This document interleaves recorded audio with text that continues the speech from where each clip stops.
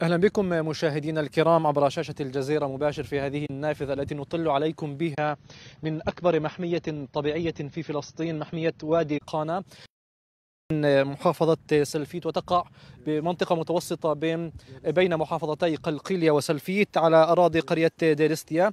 نتحدث عن هذه المحمية مشاهدينا وهي باعتبارها بوصفها أكبر محمية طبيعية تضم العديد من الينابيع وأيضا مقام عليها العديد من المستوطنات الإسرائيلية. حول هذا الأمر نتحدث أيضا بوصفها متنزها ومتنفسا طبيعيا للفلسطينيين رغم وقوعها بمنطقة استيطانية ومحاولة الاحتلال السيطرة عليها عبر مشاريع استيطانية توسعية وأيضا معاناة المزارعين في هذه المنطقة الذين يزرعون الحمضيات والزيتون على أراضيها منذ عشرات السنين. نتحدث في البداية مع السيد سعيد زيدان. حول هذا الأمر سيد سعيد يعطيك العافية ويسعد أوقاتك طبعا. تمام. تعطينا لمحة في البداية عن المكان اللي إحنا موجودين فيه حاليا جغرافيا وتعرف المشاهدين أكثر بمحمية وادي قانا بالنسبة لمحمية وادي كانا ووادي كانا وادي كانا مش محمية طبيعية هو أراضي خاصة مملوك لأهالي ديرستيا وأرض وسكان.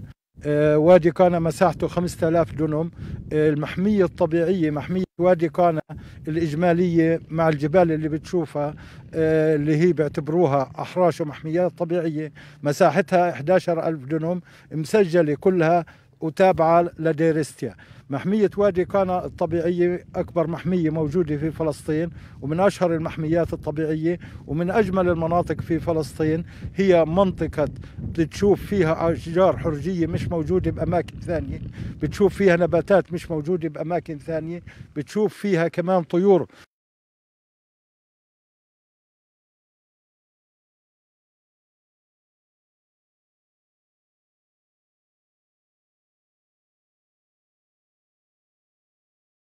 كان الخاص اللي هو من أجمل مناطق فلسطين. والآلاف من سكان الضفة الغربية من كل أنحاء فلسطين. آه هذا الوادي متنفس طبيعي للوطن كله. وإحنا بديرستيا ديرستيا بنرحب بكل الزائرين اللي بزوروا وادي كانا واللي بزوروا البلدة القديمة في ديرستيا التاريخية وبنستقبلهم. وشو مطلوب خدمات منا بنقدم لهم. لكن في وادي كان هو في صراع على هذا الوادي بيننا وبين الاستيطان اللي شايفه هذا بالجبال المحيطة بوادي كانا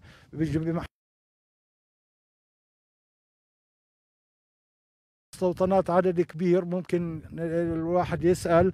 هاي الأراضي حكومية استولى عليها الاحتلال سنة 1967 من الحكومة الأردنية وبيعتبر حاله هو الآمر الناهي في هذه الأراضي وهو بأعطي المستوطنين هاي الأراضي أراضي أراضي الحكومة وبشرعين لهم إياها بحولها من أراضي حكومية إلى أراضي خاصة في صفة الاستخدام مشان يبنوا فيها ويستغلوا هذه الأراضي. وإحنا أراضينا الخاصة اللي موجودة داخل المحمية الطبيعية ومنها وادي قانا اللي إحنا حاليا موجودين فيه.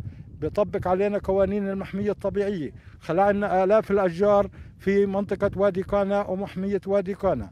كمان سيد سعيد فقط للتنويه للمشاهدين يعني ربما تشاهدون حاليا مشاهدينا عبر الصورة. ما تشاهدوه حاليا هي مستوطنات إسرائيلية تقام على قمم هذه الجبال المحيطة بنا.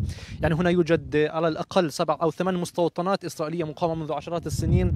تشاهد الآن يعني إحدى هذه المستوطنات المقامة هنا على على قمم هذه الجبال. طبعا نحن نتحدث عن مساحة شاسعة جغرافيا مشاهدين تبلغ أكثر من عشرة آلاف دنم أو ربما أربعة عشر ألف دنم في هذه المنطقة. وأيضا يعاني السكان الفلسطينيين كذلك من إجراءات الاستيطانية والإسرائيلية. التي أعلنتها محمية طبيعية بموجب هذا الإعلام يحرم الفلسطينيين من ممارسة نشاطاتهم الزراعية بحرية. في المقابل يغض الاحتلال الطرف عن النشاطات الاستيطانية والسعي المستوطنين لتحويل هذه المناطق الطبيعية لمناطق سكنية. تحدث أكثر عن هذا الموضوع أكثر سيد سعيد. نعم.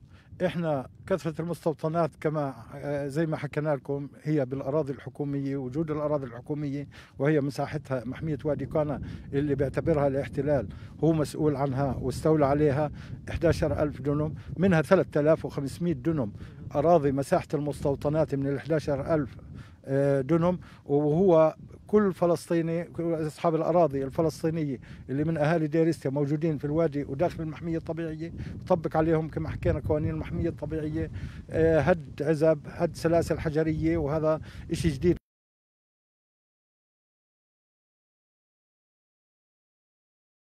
وهو ما بمنع تغيير أي واقع في هذا الوادي. إحنا بحاجة مثلا إلى آه، تأهيل طريق وادي كان بيجي رفض باستمرار. يعني بعد ست مراسلات أعطونا يومين نأهل طريق وادي كان وشو اليومين؟ يعني في, في تأهيل طريق. آه، طلبنا قبل ثلاث سنوات عن طريق الارتباط الفلسطيني إنه بلدية ديريستا تعمل استراحة في وادي كان فأجا رفض كامل ممنوع ممنوع. آه، فكل شيء بتحاول تعمله بتعمله يا إما ب- بشوفوهوش الإسرائيليين أو إما أنت بتعمله بدون آه، بدون علمهم أو بيجي رفض. طيب، إحنا في وادي كان في قصة مهمة عايشين على أكبر حوض مائي فلسطيني موجود في فلسطين وهو بكلول الحوض الغربي اللي بيمتد من عزون كفر ثلث صنيري لحواره ووادي كان موجود على هذا الحوض المائي هو ديرستيا. وعملوا بير في قرن شمرون 24 ساعة بيسحبوا مياه من هذا الحوض. اللي هو عليه هذه الينابيع وباخذوها حتى للداخل الفلسطيني. تصور يعني بيسحبوا من هذا الحوض 400 مليون متر مكعب مية سنويا سنويا من هذا الحوض. بعطوا الفلسطينية 120 بمصاري بيبيعوهم إياها بيع وهم باخذوا 280 مليون متر مكعب باخذوها للمستوطنات وباخذوها للداخل الفلسطيني وهي مياهنا وأرضنا. وإحنا في هذا الوادي اللي مساحته كما ذكرنا 5000 دنم بنتعرض لاعتداءات كثيرة من قبل المستوطنين. زي ما أنت شايف هذول تبعين التراكتورون وقاعدين وكمان في مسيرات للإسرائيليين بي- بيعملوها بهذا الوادي بسكروا مدخل الوادي بيمنعوا المزارعين من الدخول للوادي وملاك الأراضي والمتنزهين اللي بيجوا من كل أنحاء فلسطين في أيام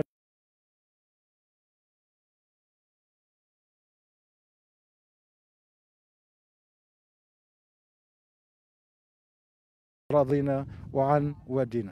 سيد سعيد يعني برغم كل ما ذكرت من معاناة استيطانية حقيقية ووجود عدد من المستوطنات ولكن أيضا حدثنا أكثر رغم ذلك يعتبر المكان متنفس طبيعي ونحن نشاهد في هذه اللحظات ربما وعند انتشار الخضار والع- والعشب تصبح المنطقة بيئة جميلة للزوار والمستجمين في هذه المنطقة. تحدثنا أكثر آه، عن وجود زيارات لهذه المنطقة ونحن نشاهد ربما في ساعات الصباح اليوم. بعض الزيارات ولكن الأمر يختلف طبعا بطبيعة الحال عندما في أيام أخرى يزدحم المكان بالمستجمين. كما ذكرت لي هناك المئات ربما الآلاف يزورون هذا المكان. حدثنا أكثر عن هذا الموضوع. آه، أيام الجمعة والسبت آه، بزور الوادي آلاف الزائرين من كل أنحاء فلسطين. وإحنا روجنا لوادي كانا مشان يجوا كل كل سكان الضفة الغربية يزورونا بهذا الوادي وهو متنفس طبيعي لكل سكان آه، فلسطين.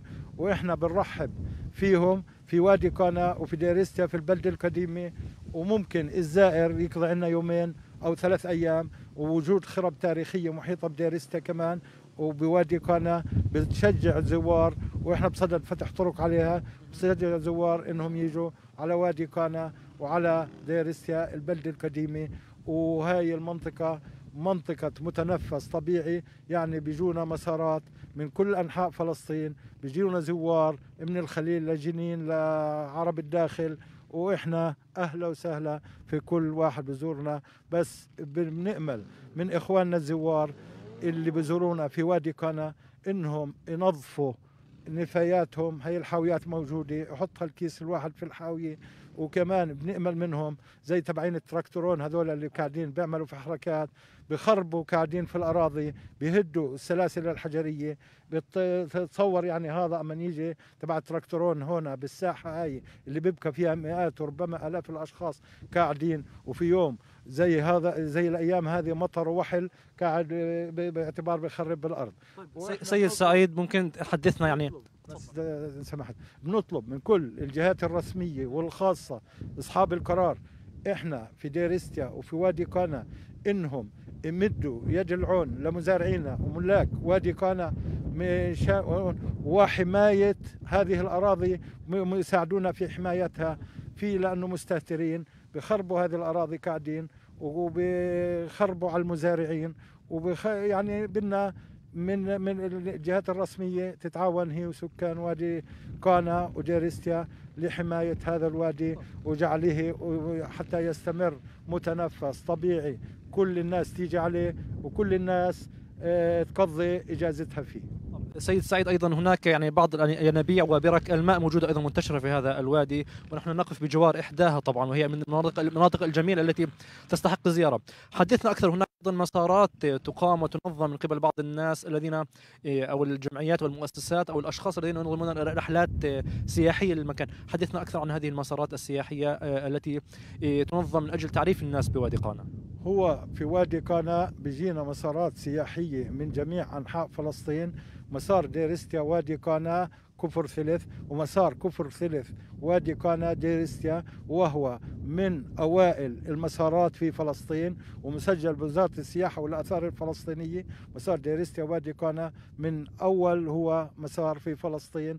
وإحنا يعني وبتيجي جمعيات هون جايبه موظفينها بتيجي وزارات جايبه موظفينها بتيجي مدارس جايبه موظفينها وأنا قابلت وزير التربية والتعليم قبل تقريبا آه، ثلاث شهور ولكن لجائحة الكورونا إنه كل طلاب وزارة التربية والتعليم آه، يجوا على وادي قانا لأنه أجت رحلة هون على وادي قانا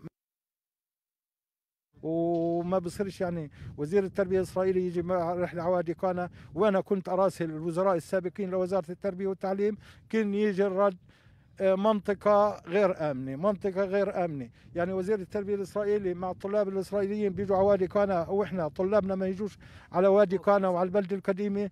آه، بتمنى إنها تصل الرساله طبعا أنا وصلت الرسالة شخصيا لأخونا وزير التربية ووعدني وعد إنه بس تنتهي جائحة الكورونا ويبدأ موسم الرحلات في وزارة التربية والتعليم. يزوروا ديرستا تبقى من ضمن زيارات وزارة التربية. والرحلات الطلابية ديرستيا القديمة البلدة القديمة ووادي قانا الجميل جدا على مستوى فلسطين.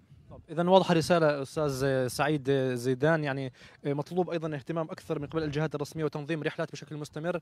على كل حال شكرا جزيلا لحضرتك سيد سعيد زيدان رئيس بلدية ديرستيا.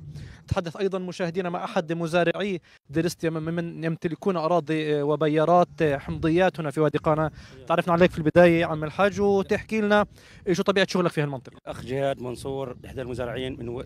من واد كانا ديرستيا.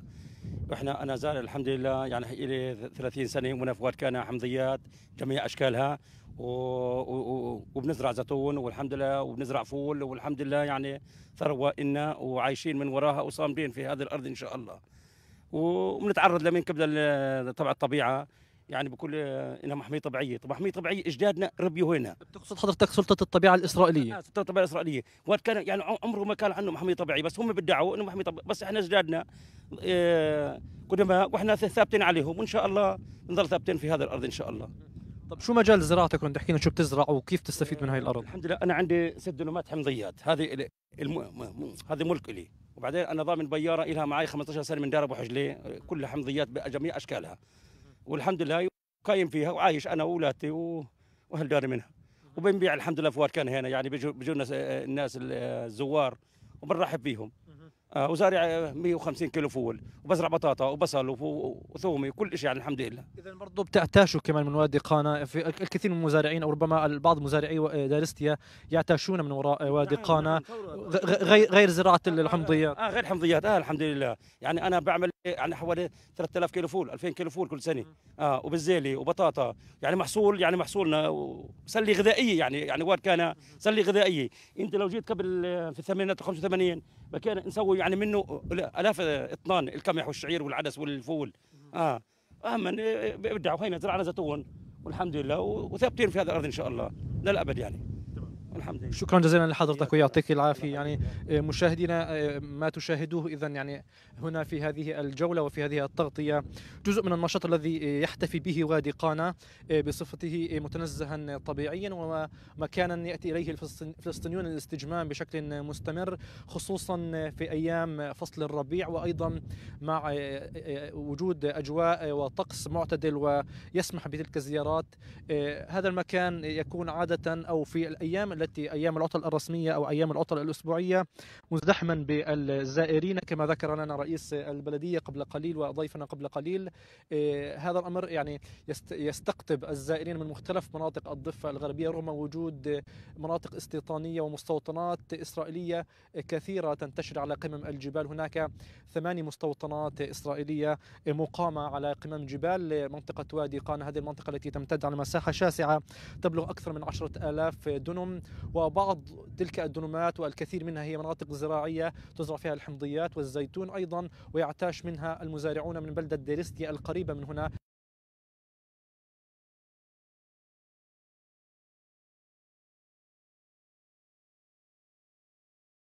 قانا الطبيعية هنا في القريبة من بلدة بمحافظة سلفيت. نشكر لكم طيب المتابعة.